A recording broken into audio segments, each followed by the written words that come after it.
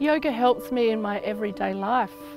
I find that I'm able to centre and focus myself, but I'm also able to teach my family how to centre and focus themselves. I have a 10 year old daughter who today was so nervous about giving her first in front of class presentation that she started hyperventilating and crying. And the only thing I could think of was for her and I to sit down have a little chat about it, but then to do some breathing. So I taught her how to place one hand on her chest and one hand on her stomach and just breathe into her chest, into her stomach, out through her stomach, out through her chest. And she slowly regulated her breathing and calmed her central nervous system down. Now, she is at home and I am in Nandara country.